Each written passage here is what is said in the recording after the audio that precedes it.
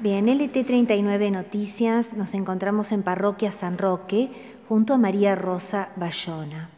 Eh, María Rosa, catequista desde hace 25 años, aquí, además de ser catequista también, hace ya una década en la cárcel de nuestra ciudad. Eh, Mari, primero feliz día. Gracias. Bien, en segundo lugar, eh, quisiéramos por favor que nos compartas eh, cómo ha sido y cómo viene siendo esta experiencia en tu vida de ser catequista, de esto de llevar la palabra a niños y en tu caso también a internos de la unidad carcelaria. Bueno, esta misión catequística nació aquí en San Roque, eh, donde soy parte de la comunidad. Yo tomé la comunión y la confirmación aquí en San Roque, pero bueno, uno por las cosas de la vida después se aleja de la iglesia como eh, pasa, pero vuelvo y me invitan a ser catequista, acepto encantada y comencé esta misión. Y para mí San Roque es mi segunda casa, la gente de San Roque es mi segunda familia, mis compañeras catequistas, eh, somos muy compañeras, estamos siempre juntas compartiendo cosas, los momentos lindos, los momentos tristes. Y realmente es una misión que la hago con toda la alegría del mundo. Bien, eh, María Rosa, primero, eh, estás con una franja etaria que es la infancia, seguramente también adolescentes que hacen catequesis aquí en San Roque. Eso por un lado, quisiera saber tu experiencia, qué nos podés contar. Incluso creo que una palabra más que autorizada sos, ya que 25 años te avalan para incluso decir de qué manera eh, vienen niños en, hace 20 años atrás a los contemporáneos. Vos debés saber mucho de cuestiones intrafamiliares y de ver cómo se maneja la familia hoy en día respecto de 20 años atrás. Claro, es una realidad que ha ido cambiando. Eh, nosotros tenemos hoy, por ejemplo, para hacer una reunión de padres es muy difícil coincidir horario. Hoy la mamá y el papá trabajan. Eh, antes creo que era más fácil, siempre teníamos la presencia de la mamá por lo menos ahora es más difícil. Eh, también tenemos, bueno, como en toda familia, problemas de, padres separados, chiquitos que viven con la mamá o con el papá, con la abuela, y son realidades a veces muy difíciles. Pero bueno, con el amor de Dios tratamos de que todos los chicos se sientan bien en esa hora de catequesis, a la que a veces vienen como todo chico que están jugando y bueno, los llaman para la catequesis, eh, por ahí nos dicen las mamás, renegamos, pero después el chiquito cuando está acá en el encuentro se encuentra bien porque se encuentra con otros amiguitos y lo más importante es hacerlo crecer en la fe y el amor a Jesús. Y se sienten en comunidad. Se sienten en comunidad. Pertenecen. Sí, pertenecen. Nosotros tenemos la gran gracia de que después de la hora de catequesis tenemos enseguida la misa. Es decir, que los chicos ya tienen misa y catequesis, cosa que no pasa casi en ningún lado.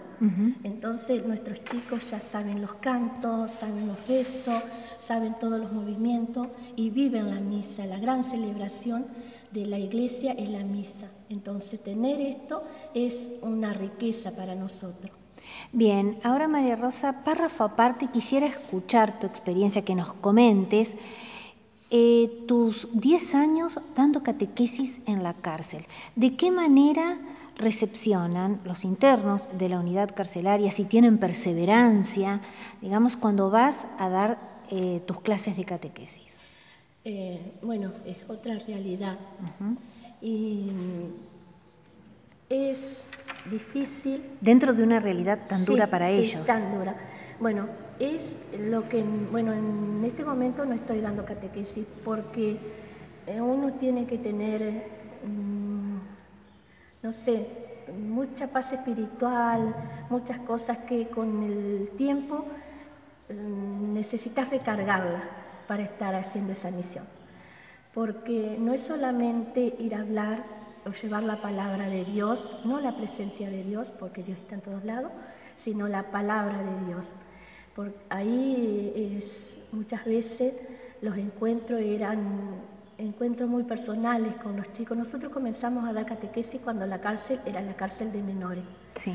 Eh, a los poco, al poco tiempo que comenzamos a dar catequesis eh, con mi compañera Peti Saurralde, eh, fue el motín, fue un motín.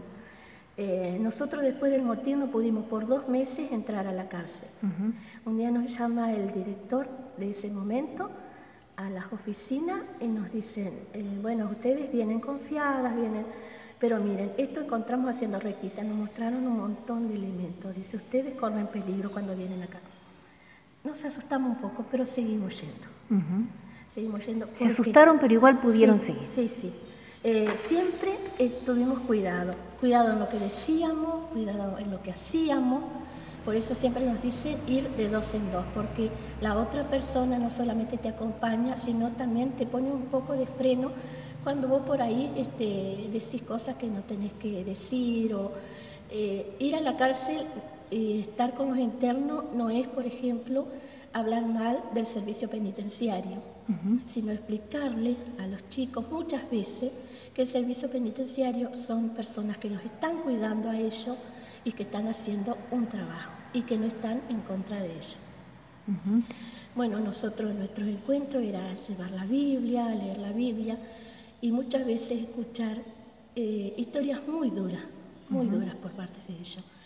Te puedo asegurar que un día fuimos, a veces salían 10 chicos, bueno, era compartir y hablar, leer la lectura, cómo, qué es esa lectura, qué nos decía en ese momento de nuestra vida, eh, sobre todo de ellos en ese contexto del encierro, eh, les daba una palabra de esperanza, eh, de saber que ellos no estaban solos, que también Jesús sufrió de la cárcel, que muchos amigos de Jesús sufrieron de la cárcel. Y bueno, ellos lo entendían y creo que salían bien de ese encuentro. Muchas veces eran solamente un interno el que salía y a veces ese interno necesitaba hablar y bueno, lo escuchábamos y muchas veces escuchábamos cosas terribles de las cosas que habían hecho y te juro que salíamos sin poder hablar nosotras y era duro, era duro. Y por ahí también tenés esto de que muchas veces la comunidad o la ciudad no entiende esto de que por qué tenés que ir a darle catequesis a un preso. ¿Por qué tenés que hablar de Dios con un preso? Siendo que Jesús... Es justamente las personas que más necesitan. Claro, y lo que nos dice Jesús en Mateo 5, estuve preso y me fuiste a visitar. Nosotros lo único que hacemos es vivir el Evangelio cuando vamos a la cárcel. Vivimos el Evangelio. Bien, María Rosa, en, en estos años yendo ahí a la cárcel, ¿has encontrado en algunos de ellos sanación espiritual, el perdonarse ellos mismos? Sí, yo creo que sí, yo creo que sí, porque hemos encontrado, bueno, eh, personas que son de acá de Victoria, que, chicos que han estado presos y cuando han salido, bueno, nos han tratado con tanto cariño, como diciendo, nos hace bien salir. Un chico que no era de acá de Victoria salía siempre y decía, yo estoy esperando esta hora para salir, para escucharla. Entonces eso nos hacía bien, nos hacía, bueno, fuerzas para seguir, para ir el, próximo encuentro. Pero claro, eh, también teníamos el, día que íbamos y que no salía nadie y que estábamos ahí esperando en la capilla de la cárcel media hora, una hora y bueno, veíamos que no salía nadie y nos íbamos, nos íbamos decepcionadas, pero bueno, volvíamos y al otro sábado iba este, salía uno, dos y ya estábamos de nuevo con el ánimo arriba para seguir. Bueno, María Rosa, ahora sí para terminar, más allá de eh, con, con esto último que nos has comentado, creo que ya está prácticamente contestada la pregunta, pero igual, ¿Qué te, han dejado estos 25 años? ¿Qué le han dejado a María Rosa estos 25 años de catequesis? Eh, darles a los niños es tal vez más común, pero dar en la cárcel te debe retribuir desde otro lugar. Sí, eh, dar en la cárcel fue un crecimiento personal para mí. Fue decir, bueno, puedo hacer esto, puedo hacer aquello, eh, lo puedo hacer. Sorteando miedos. dejar los miedos, dejar los miedos. Y fue una experiencia personal muy buena y un crecimiento personal en mi fe también, porque sí y escuchar eh, historias que vos pensás, ¿cómo le puede pasar a un chico de esta edad eh, que ha tenido esta familia, cómo lo han dejado, cómo lo han abandonado? Y bueno, y decirle a ese chico, mira, Dios estaba, Dios está. Eh, fue difícil, pero fue una experiencia personal muy buena. Bueno, perfecto. Muchas gracias María Rosa y feliz día. Bueno, gracias a vos. Gracias.